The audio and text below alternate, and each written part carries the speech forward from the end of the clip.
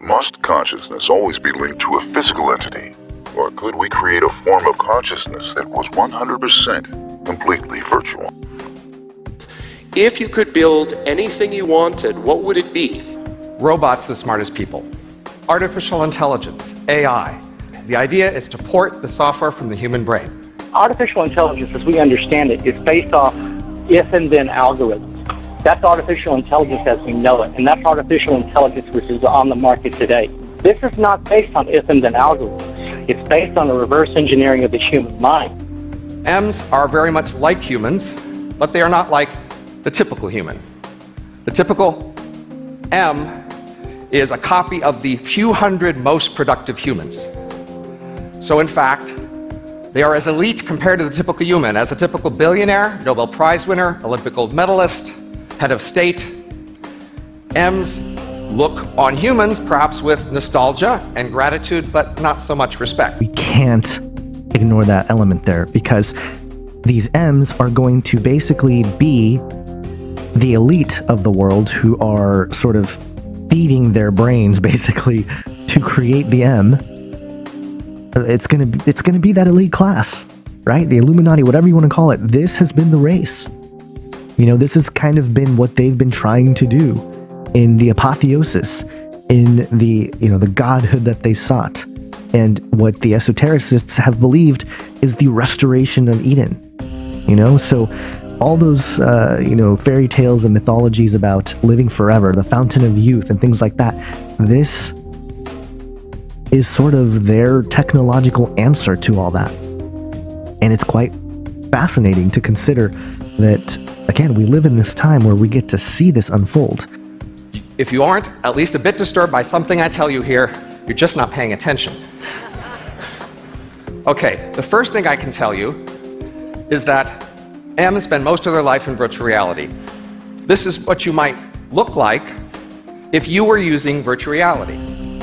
And this is what you might see sunlight glinting off of water, you might hear gulls flying above, you might even feel the wind on their cheeks or smell seawater with advanced hardware.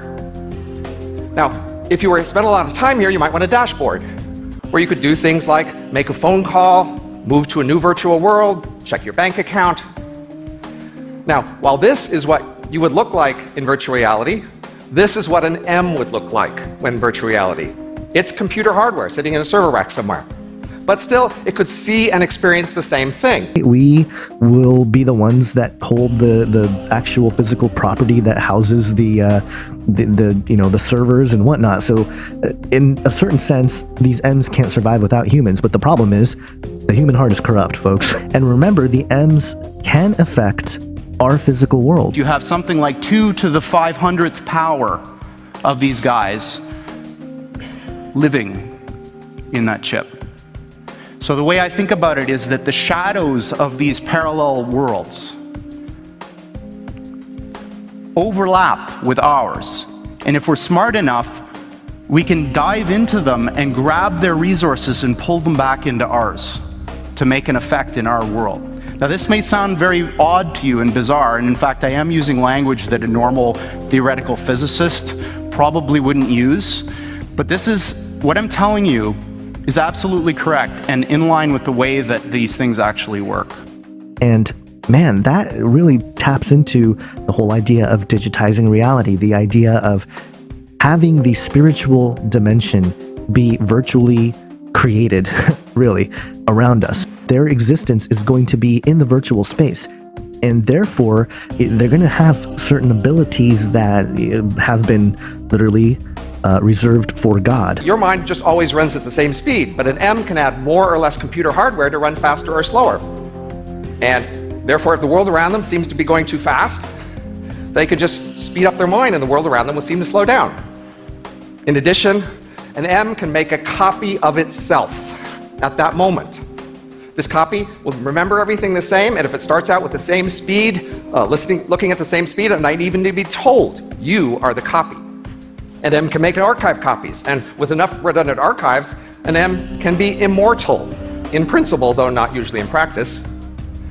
And an EM can move its brain, the computer that represents its brain, from one physical location to another. EMs can actually move around the world at the speed of light. And by moving to a new location, they can interact more quickly with EMs near that new location. EMs are crammed together in a small number of very dense cities. This is not only how they see themselves in virtual reality, it's also how they actually are physically crammed together. So at EM speeds, physical travel feels really painfully slow. So most EM cities are self-sufficient, most war is cyber war, and most of the rest of the Earth away from the EM cities is left to the humans because the EM's really aren't that interested in it. Now, I have to mention the part about compact cities. What's that sound like? Right? Agenda 21, now sustainable development for the year 2030. I mean, you know what? The whole UN thing sounds like they're just setting up for these emulates here. They're just building these cities for these emulates to live, and we will basically become fodder or, I don't know, just uh, energy sources like the battery in the Matrix or something. It gives these computers access to these new resources, maybe you could call them parallel universes, in order to do something that you couldn't otherwise do. Pretty much kind of a way to put people into a similar state that the victims of MK Ultra experienced in, you know, submerged in water and having all your senses taken away, interfacing the supernatural realm with the physical realm. And this line is completely being blurred and torn apart. And that's why I think our physical bodies, perhaps, is the most prevalent portal into the other dimensions. And that's what's being exploited here. And this is bizarre because we don't see those other things. But science has reached the point now where we can build machines that exploit those other worlds. And quantum computers are perhaps the most exciting of all of these. It really got me to think that these smart cities are potentially, truly, portals into other worlds. And uh, they're just getting a bunch of people ready to move into those areas so as to be tied into the system. It's not just about slavery, it's ultimately about enslaving your soul. Here's how I do it I copy you exactly into a digital environment. That copy process has all of the properties we were talking about as, as being a soul. First of all, it's immaterial because copying, that's not a thing, it's a process. It's immortal, it's just like you. You can put it in any environment you want, heaven, hell, make a simulation. So, uh, all of these things that reside in our heads, these abstract concepts, I think that eventually we can build them, and we have to decide what we want to build. They are building false realities into which they want to induct you so they can play God. It is called a digital twin, and it represents a new era in simulation, a new world of predictability, a promising new tool for engineering the future. A digital twin is a complete virtual prototype of an entire system. A frequency is emitted from a device and hits the target at the resonant frequency that that target's body, brain, and DNA are already resonating at, already vibrating at, they sync up. And there is, for lack of a better term, a frequency superhighway that is connected between the device and the targeted individual. And it is, a, it is upon this frequency superhighway that you can send data and information and instructions to the targeted individual, much in the same way that you can send data and instructions over fiber optic cables that power the internet, for example. Your brain reality is your reality. And if in fact I can import information into that brain and take outputs from that brain and link that to an avatar so that brain thinks that it's embodied moving in the world and experiencing the world, can we do this? Yeah, we can do these kind of things. And that's very much what's going on. They have unfortunately hacked the human mind, hacked the human brain and the human body. And it is once that, that superhighway a frequency is set up between the device and the targeted individual, they can send instructions. And those instructions ride on a wave of frequency that it was tuned into the individual's resonant frequency. And then they can send instructions that manipulate thoughts, manipulate emotions, manipulate behavior, and manipulate um, even the vitals and so forth, the heartbeat, the breathing pattern of the targeted individual. And they obtain uh, remotely uh, an EEG readout of your brainwave signature. It's called a digital brainwave impact. and they take that digital brainwave imprint, that, that copy, that digital copy of, of your brainwave signature, and they download it, or I should say upload it back into their, their supercomputer, which is actually a conscious computer. And then they tie you to that conscious computer for life. How? By way of a continuous stream of energy, uh, of electromagnetic low frequency waves that are specifically tuned to your unique brainwave signature. Nobody else on earth has the same brainwave signature. It's, like a, it's unique to you alone. It's like a set of fingerprints. Nobody else on earth has your same set of fingerprints. Well, nobody else on earth has your same brainwave signature. And what the, the stream of energy is designed to do is it's, it's designed to, to interface and interact based on that frequency, based on your brainwave pattern. And that's how it's able to speak to. It's able to speak to and decode the neurotransmitters in your brain, and that's how they're able to turn the brain of the mind control victim into their, you know, their very own visual, verbal, and auditive communication system. It takes time. They have to build a cognitive model uh, for, for, for the purposes of being able to do that. But that's how the tech, that's how the technology is designed to operate. There's a resonant frequency to DNA itself. Uh, that all matter in the universe resonates. All matter is animated by sound. And as a result, there is a frequency that is um, able to be measured that measures the rate of vibration, for lack of a better term, of the DNA itself, of the human mind, and of course of the human body, and indeed every, everything else in nature.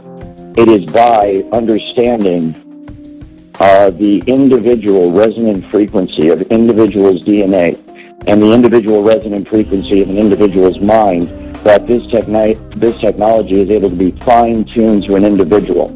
And the only reason for that is to hook up the technology to the individual. The Human Genome Project was carried out at the Lawrence Berkeley National Lab, where I was a staff scientist for five years. They were tracking people in the lab by the electromagnetic frequency emitted by individuals' DNA. What we know about Google is that they are doing DNA surveys from space. And it seems to be on a grid system. So they're doing a survey from space and they went down uh, the west coast of South America and then came up the east coast and now they're in Southeast Asia. This is part of the United Nations Agenda 21 program tracking and identifying of humans and animals. The DNA in every living thing has a unique frequency and signal. That is what they're using, what they're focusing on, and what they're weaponizing to completely control us. They obtain a, an EEG digital brainwave imprint uh, of your brainwave signature. They download that back into their supercomputer, their conscious computer, and then they tie you to that supercomputer for life by way of remotely, by way of a continuous stream of energy, a continuous stream of electromagnetic low frequency waves. And that stream contains a hidden carrier frequency. And so the resonant frequency of the DNA is what they use to fine tune the technology to take total control of your entire body, spirit, soul, being, and mind. It's total not only mind control, it's total human being control. And it is the essential element that allows them to manipulate your emotions so totally and completely, to manipulate your thoughts so totally and completely, to manipulate everything you do and see and hear and think and feel every single minute of every single day. This, this isn't real. What is real? How do you define real? If you're talking about what you can feel, what you can smell, what you can taste and see, then real is simply electrical signals interpreted by your brain. There is a very real risk that you are going to become a full-blown 24-7 targeted individual. And this technology at that point, when it is nationwide, will be used by automated computer, supercomputer software programming uh, that will manipulate the emotions and the behavior and the thoughts of everybody in the United States of America. And it can all be done remotely. It's very much like the, the microchip kind of uh, tracking the New World Order, this entire, you know, uh, control grid that's supposed to be rolled out against the American people someday. And I'm here to tell you that uh, it's already here. There isn't going to come a day where there's troops in the streets and tanks rolling down uh, your neighborhood and riot gear and all this stuff. We might have isolated incidents like that. It might get like that every once in a while, but the, the true control grid is this technology voice to skull, hive mind, behavior manipulation technology. And it can all be done remotely. It can be done simply by targeting you with the frequency, locking into the resonant frequency of your DNA and your mind, and in that manner, completely track and trace and control you uh, 24 hours a day.